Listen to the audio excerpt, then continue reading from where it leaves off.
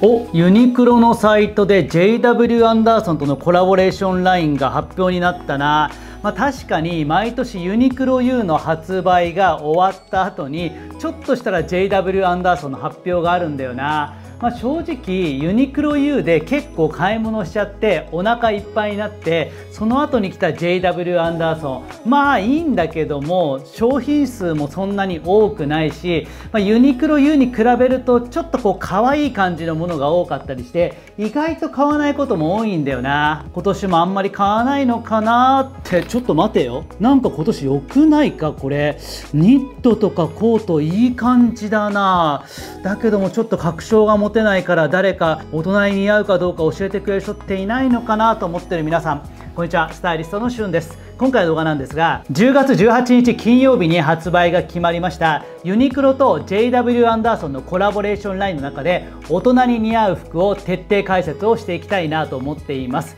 まあ、冒頭にもお伝えした通り個人的にもですね JW アンダーソンのコラボレーションってめちゃくちゃ楽しみにしてるというよりはユニクロ U の方がですね優先度が高いんですね、まあ、こっちがですね大人世代に似合いそうな結構鉄板のアイテムが揃ってるイメージでその後にやってくるる JW アンダーソンは全体の中で1点2点ぐらい良いものがあればいいかなぐらいの立ち位置なんですね、まあ、英国調の雰囲気をベースにしながらもちょっとポップなものも多かったりするので意外とですね大人世代はむずいかなと思うようなチェック柄のものだとかが多かったりするので僕はですねパスすることもあるぐらいなんですね。なので YouTube の動画にするかどうかもその時々なんですが、まあ、今年もあんまり期待感を強く持ちすぎないで見てみたら結構良さそうなんですよね。ここ数年の JW アンダーソンの中では結構どれ見ても良さそうなものが多かったのでこれは皆さんにですね動画をお届けしなくちゃいけないなということで緊急で動画を回しています。まあちょっと裏話なんですがうちの動画って僕が編集するのではなくて編集チームがいてですね少しだけ時間をかけながら丁寧に編集してるんですが、まあ、今回はですね昨日情報がリリースになって、まあ、今日皆さんにですねなるべく早くお伝えしたかったので大山編集でちょっとエッジの効いたテロップでお届けしたいなと思っていますのでそちらもぜひ楽しみに見ていただければなと思っています。こちらのチャンネルでは大人男性に向けてメンズファッションの基本なるべく分かりやすく解説をしていますのでよかったらチャンネル登録やグッドボタンの方もよろしくお願いします。それでは早速いってみましょう。はいということでここからは具体的にですね10月18日金曜日から発売になります JW アンダーソンとユニクロのコラボレーションですね。その中からこれはちょっといいんじゃないのと思うものですね。皆さんにしっかりめに解説をしていきたいなと思ってるんですがまあ僕がですね感動した順といいますかこれは間違いないんじゃないのかなという順番でお伝えをしていきたいなと思います。まず1点目はもうこれで間違いないかなと思います。スフレヤングラデーションクルーネックセーターですね。価格は3990円ということで3色展開になっています。で一押しは個人的にはオリーブですね。オリーブあってのブルーそしてあとはグレーですね。3色展開になっているんですがまずベースはスフレヤンのニットということで肌触りがちょっともちっとして気持ちのいいニットになっています。これユニクロの定番でもやっているものなので皆さんも一度は店頭で見たことがあるかなと思うんですがこのベース自体がすごく使い勝手がいいですね、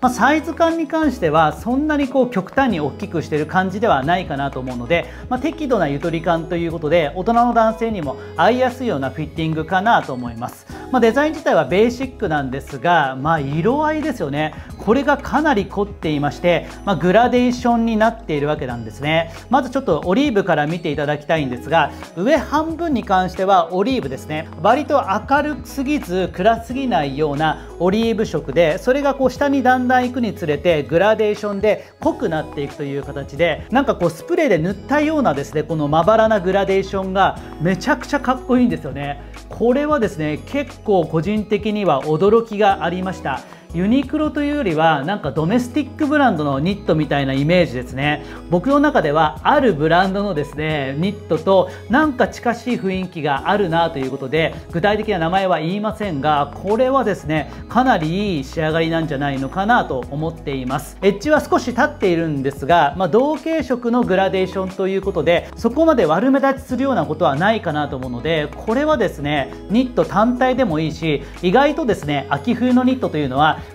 この上に例えばダウンだとかあとはロング丈のコートとかを着るのでそうなるとですねこの真ん中の部分だけですね僕も T シャツ今着ていますが結局はこのアウターに隠れて真ん中部分しか見えませんよね。そうなった時にシンプルなニットもいいんですがこのようなグラデーションニットだとちょっとしたアクセントになってくれるので皆さんが普段お持ちのニットとの差別化もちゃんとできるかなと思うのでこれはですね素晴らしい仕上がりのような気がしています、まあ、実物を見ないとわからないところではあるんですけどね、まあ、写真の状態ってすごく綺麗に撮られていますし、まあ、実際に外で見るのと雰囲気が違かったりすることもあるのでその辺りはですねスタイリング事例、まあ、外で撮ってあるようなものもあるので、まあ、こちらも参考にしていただきたいなと思うんですがいずれにしろすごくいいカラーですね、まあ、ブルーに関してもすごく仕上がりが良くてネイビーよりはだいぶ明るめのですねブルーからだんだんこうダークネイビーにこうグラデーションしていくような形ですごく色合いがいいですね、まあ、上の方は結構明るめのブルーで中間部分がミディアムぐらいになってきてちょっとまだらな状態になって下の方ですね下3分の1ぐらいがしっかりと色がですね深めのネイビーになってるって感じでこれもなかなか良さそうですね。3990円でこういったニットが買えるというのは結構驚きですし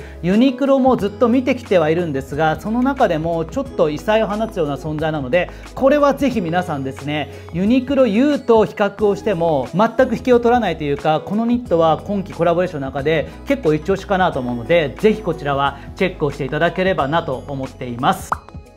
続いて2点目に注目しているのはですね同じくニットジャンルになるんですがスフレヤンリブフルジップセーターですね。価格は5990円ということでこれもですね仕上がりがすごくいいですね、まあ、このようなジップのですねセーターというものはここ数年はいろんなブランドで作っています、まあ、フルジップという形で前をですね全開にできるようなものもあればハーフジップ式のものもあったりしてこの辺りはですねいろんなバリエーションがあるんですがこれはフルジップになっていますね。で首元は割と高めになっていますのでしっかりと締めていただければ首の部分タートルネックのようにですね暖かさも確保できますしあとはですねこういったジップのものを途中までですねジップを下げて首元にボリューム感を持たせながら着るのも結構おしゃれに見えるのでこれはなかなか素敵だなと思いました、まあ、リブ状になっていましてこうあぜがですね縦にしいような感じでこの平坦に見えない感じもまたなかなかバランスがいいなと思います。で表と裏でですね色を変えてあるんですね。ネイビーに関してはちょっと明るめのネイビーに対して裏側にはですねダークネイビーの色味になっていましてこの辺りも襟を寝かせてきた時にもちょっとしたアクセントになってくれるかなと思います、まあ、JW アンダーソンって結構柄物だとかちょっとしたアクセントが入ってることが多いんですがこれは割とプレーンなので使い勝手も非常に良さそうですね、まあ、ネイビーもありますしあとはグレーですね、まあ、ミディアムグレーぐらいであまり濃くない形になってるんですが襟裏に関してはチャコールグレーになってるのでこの辺りのグラデーションもすごく魅力的な1枚かなと思います。これは単体で着てもいいですしロング丈のコートの内側に入れてもめちゃくちゃ使い勝手がいいかなと思います。なかなかこの手のニットってユニクロで頻繁にやってるイメージもなかったりするので1枚これもあっていいんじゃないのかなと思いますね。まあ色は結構悩みますが個人的にはちょっとこうネイビーですかね。やや明るめのネイビーが雰囲気良さそうだなと思って注目したいなと思っています。これもスフレヤンのニットがベースになっているので肌触りも含めて気持ちがいいので半袖の T シャツの上に着てもチクチク感はなくて非常にですね見た目と機能性といいますか着心地の良さ充実したような一着なのでこちらも、まあ、ぜひ皆さんもですねチェックしていただければなと思っています。で3点目なんですけどもこちらですね。チェスターコート1万4900円ということでこれもまた個人的には注目をしています。まあ、チェスターコートというとですね、まあ、コートの中で2大巨頭だと思っていまして、まあ、シンプルで使いやすいステンカラーコート。これは先日のユニクロ U でもありましたよね、まこちらの方がよりこうベーシックで使いやすい印象で、まそれとですね同じぐらい、ま割とこう見慣れたアイテムというのがチェスターコートだなと思います。ジャケットの着丈をそのまま伸ばしたようなコートで、ま数年前にですね爆発的にトレンドアイテムになったんですね、まユニクロでも定番的に扱っているんですですが、まあ、ちょっと旬なピークは過ぎたなという印象が、まあ、正直あるかなと思うんですね。僕も最近はチェスターはほとんど着ることがないんですね、まあ、特にユニクロのチェスターコートはすごく素材感がいいんですがただですねジャストサイズからほんのり緩さがあるぐらいで着ただけでこう今っぽさが出るかというとそうでもないので、まあ、ある程度ですね年を重ねた大人世代には似合うんですけども、まあ、30代後半から40代の方からするとちょっとこうもう少しだけエッジが欲しいなと思うのも、まあ、正直なところかなと思います。います。そういった意味ではステンカラーコートの方が、まあ、気軽にトライしやすいんですがこのチェスターコートに関してはまずはサイズ感ですね。ジャストサイズよりは少しゆとり感を持たせているので現代的なサイズ感で着ることができるというところが1つのポイント。あとはですね襟周りが僕は結構面白いなと思っていまして、まあ、上襟と下襟をつなぐゴージラインですね。これが割とこう角度が割と急になっているんですよね。これがこう水平に近いような形になると割とこうイタリアのジャケットとかコートのような雰囲気になるんですが、まあ、こういったゴージラインが割とこう低めで角度も急になることで少しクラシカルな雰囲気になってその辺りのバランスも含めて僕は襟周りに新鮮さを感じますね。割とこの V ゾーンも浅めになっていて三つボタンこの辺りもクラシックでなかなかいいなと思います。カラー展開グレーとブルーということで2色両方ともですねクラシックな色合いで大人の男性にも似合いやすいような鉄板だなと思います。で生地の表面を見ていただきたいんですがちょっとこう変則的なんですね。ヘリンボーンとはまた違ったようなちょっとこう山形になったような細かな柄が並んでいましてペタッとして見えないちゃんとこう凹凸感立体感が見えるような生地感になっているのでこの辺りも上品だなと思いますね。チャコールグレーではなくてミディアムグレーぐらいのちょっとこう適度なやぼったさというかクラシックな雰囲気が漂う色合いも僕めちゃくちゃいいなと思ってましてドライバーズニットを内側に入れてあげたりだとか先ほどのグラデーションニットと合わせていただくのもいいかなと思うのでこのチェスターコートは意外といいんじゃないのかなと思います、まあ、ブルーに関してもネイビーよりも明るめの感じで割と華やかさもあるようなブルーなのでこちらもですねペタッとした感じではなくちゃんと生地の風合いともですねマッチしてすごくクラシカルで雰囲気のいい仕上がりになっているのでぜひチェックしていただきたいですね。素材はアクリルとウールですね、まあ、ウール22%入ってるので先日のユニクロ U のコートよりは冬向けかなと思うので1着持っておくのもいいかなと思います。今季ユニクロの定番的なチェスターをちょっと検討されてる方であったらやっぱり JW アンダーソンのこのチェスターコートの方が僕はちょっと優先度高いかなと思うので、まあ、ぜひこちらも合わせてチェックしていただきたいなと思っています。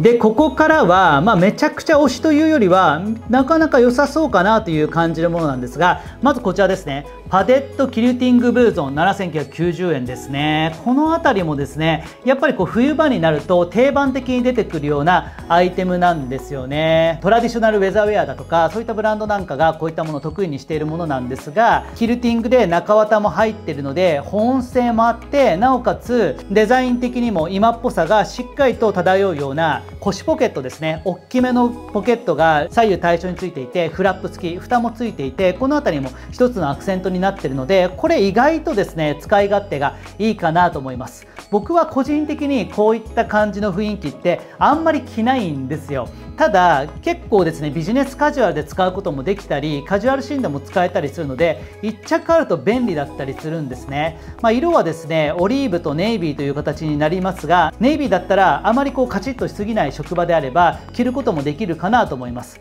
オリーブだとですねちょっとこうワークテイストといいますかカジュアル感も程よく漂ってなかなかいい雰囲気かなと思います。小雨程度だったら水を弾いてくれる撥水機能もついてるのでそういったところも含めて丈が長すぎないで普段使いに適したようなアウターなのでこれもなかなかバランスいいなと思います。JW アンダーソンらしいですね。ちょっとした可愛いポイントとかもこれもあんまり感じないので僕は大人世代にも使い勝手がいいんじゃないのかなと思います。是非気になる方はチェックをしていただきたいなと思っております。そしてもう1個ニットご紹介しますがダイヤステッチクルーネックセーターですね。これもですねなかなかいいんじゃないのかなと思います。丸首のシンプルなニットというところではベースのデザインはそこまでエッジは効いていないんですが本体のこう身ごろの部分と袖で編み方を変えているんですね。身ごろの部分はですねダイヤモンドステッチになっていましてちょっとした見え方のですね変化も楽しめるので意外とですね40代とか50代の大人世代であればこういったダイヤモンド型のですねステッッジって似合いやすかったりするんですね。普段の僕もスタイリングの中でこういったニットってご提案することがあったりするのでイタリアブランドとかでもこういった柄って作ることがあったりします。なかなか雰囲気いいなと思います、まあ、袖に関してはこうリブがしっかりと入ったようなですね、まあ、プレーンな見え方になっていましてかなり凝ってますね、まあ、JW アンダーソンって、まベーシックな雰囲気の中にちょっとしたこう遊び心というところが追加されていることが多いんですがその遊び心が行き過ぎるとちょっと子供っぽく見えて大人の世代にはどうかなっていうところになってしまうんですが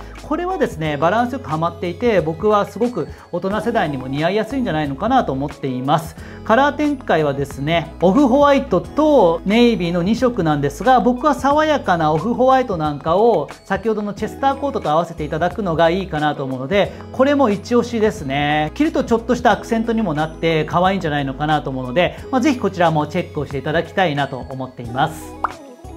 ということでこれまでニット系3つとあとはアウター2つをご紹介しました。ここはですね全部良かったので皆さんにご紹介をしました。あとはシャツですね。ここら辺はある意味で JW アンダーソンらしさがちゃんと満載になっていましてで僕の中ではちょっと行き過ぎていて子供っぽく見えるかなというチェック柄なのでこの2つはパスします。でボトムスもですね意外といいんじゃないのかなと思っていましてまずはワイドフィットジーンズですね。こちらに関しては、まあ、最近ユニクロの中ではしっかりと展開するようになったジャンルなのですごくトレンド感拾ってあって僕はバランスいいなと思うんですがカラー展開が4色なんですが個人的にはオフホワイトですね。これがいいんじゃないのかなと思います。白系のデニムってやっぱり僕の中ではすごく重要度が高いんですね。自分を象徴するようなアイテムだなと思ってましてこれまでいろいろ書籍を書いてきていますが一番最初に書いた書籍から一貫してホワイト系のデニムって入れてるんですが